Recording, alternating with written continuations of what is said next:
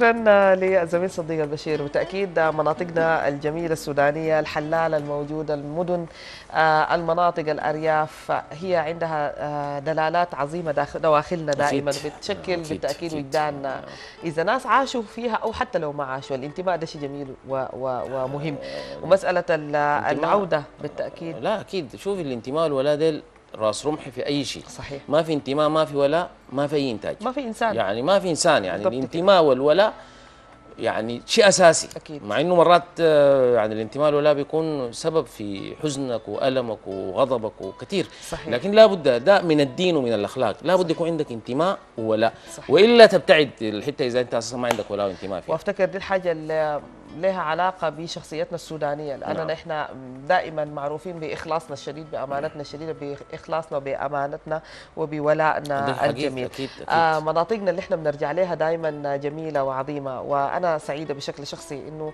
آه دائما بكون في برنامج يوثق للأحياء وللمدن السودانية وللشخصيات السودانية عبر برنامج رحيق الأمكنة ولا اذيعكم سرا بإنه كثير من الزملاء اللي اشتغلوا يعني في ظروف يمكن كانت غير متاحة بسفري لبعض المناطق كان زميلي معتصم محمد الحسن هو دائما إحنا عندنا مذيع وعندنا زول بديل بيكون له في يشتغل في بعض ال ال يعني برامج. البرامج نعم، بالتأكيد نعم،. معتصم سافر كثير جدا من المناطق ووثق لكثير من ال- الأحياء ومن المدن السودانية في هذا البرنامج رحيق الأمكنة ويمكن الشهر اللي فات كان أيضا في الأبيض يعني نعم، نعم. سجل الحلقات ونزل نزلت للناس وشاهدوها واحدة من الحلقات الشوية قديمة ترجع لي. يمكن ثلاث سنين تقريبا لا لا أكثر من ثلاث أو سنين. أك- في, في نياله في نيالا أكثر أيوة. من أكثر من ثلاث سنين أنا 2011 الف- 2011 2011 يعني سبعة. دي لما جبت بنتي. ملك. دي لما جبت بنتي ملوك.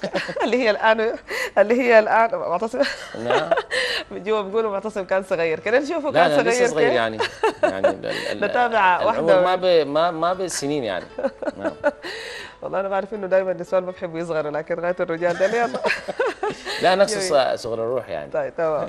التأكيد آه، هي دي الروح الجميلة اللي بتكون دائما موجودة عند زملائنا في قناة الشروق الفضائية. نعم. ربنا إن شاء الله دائما يجعلنا على على. هذه الروح الرائعة والجميلة. نتابع هذه الحلقة من رحيق الأمكنة من نيالا مع الزميل معتصم محمد الحسن.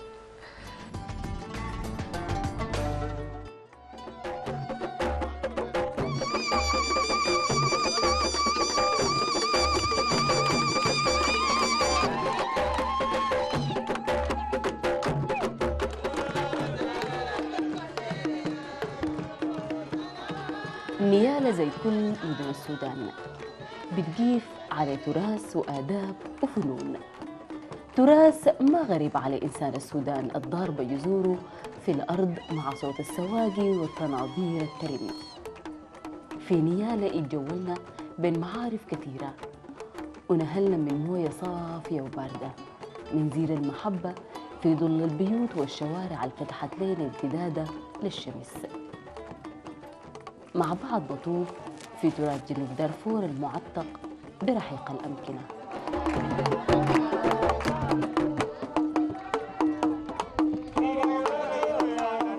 هذه الحلقة آه، وهي تتميز عن ال- ال- ال- الآداب والثقافة والفنون.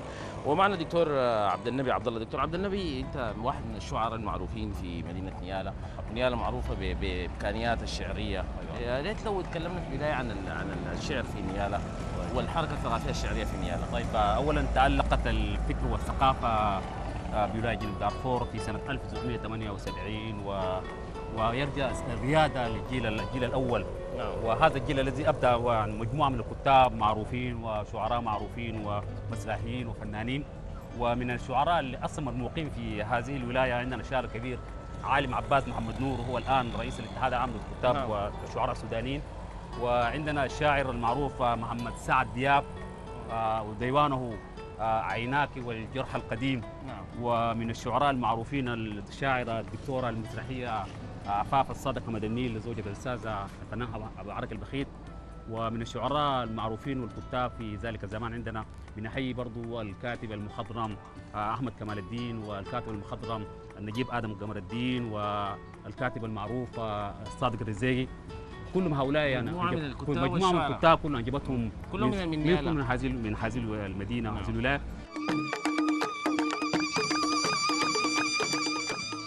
الثقافة ما كانت في نيالة ترف لكنها كانت مشوار عمر بين التنوع الضروري لاستمرار الحياة وبين التنوع بشكل ثقافة منطقة. الآداب ملمح مهم ومكون حقيقي للثقافات. وفي نيالا تاريخ بيحاول بتجذر في آبائه.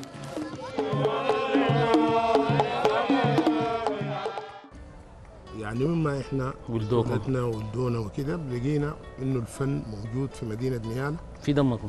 وفي دمنا جارب الفطرة يعني. آه. عموما آه، طبعا كان في في الزمن اللي فات في اللي هو أنا أتذكر تماما في حدي اسمه عبد الله أبو القاسم اللي هو ملقب بسريبيري نعم. سريبيري ده من الرعيل الأول يعني. كان لو عنده حفله في حي الجمهورية وعايزين يودوه مثلا من كرري هنا لحي الجمهورية. بيقطعوا به وادي برلين بيشيلوه في سرير والله في سرير على أساس إنه ي- يودوه. أيوه. يقولوا سريبيري ده جانا وما لقانا التراث ما دقت نجارة وعرضة. التراث هو ركيزة البيت اللي بيقوم عليه البنى هو لحقة الملهوف ونصرة المظلوم وإطعام الجائع وسترة بنات الفريق. التراث في نيالا متنوع بتنوع الثقافات اللي بتشكل إنساننا.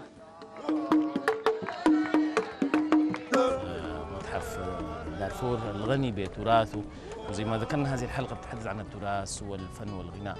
وتراث هذه المدينة غني وغني جدا.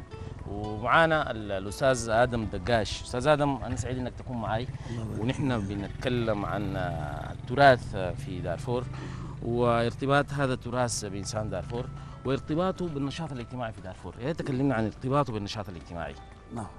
الناس ديل نعم. يعني حقيقة آه دائما وابدا يعني حتى يبتدعوا المناسبات. مم. يعني يبحثوا عن المناسبة. يعني حتى المناسبات من شدة ولعهم وولعهم بالرفاه وولعهم بالطرب الغنى بالعلاقات اللي متماسكة بيناتهم. يعني حتى الفرح بيسموه أسبوع أسبوع.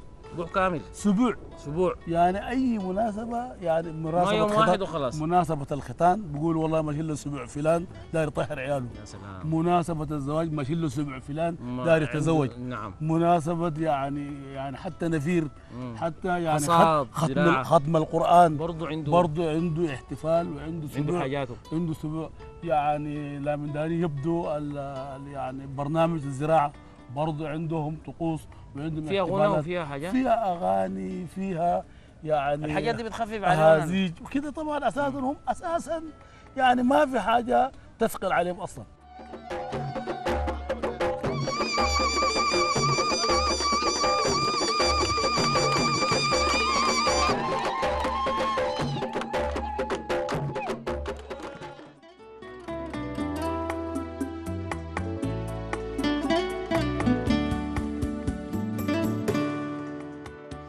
سلام أول حاجة تحية آه لسيدة يعقوب زميلتنا الرائعة بالكلمات الجميلة وأعتقد أنه كان إنتاج ياسر عوض بالكتابة ال- ال- المبسطة الجميلة المحببة.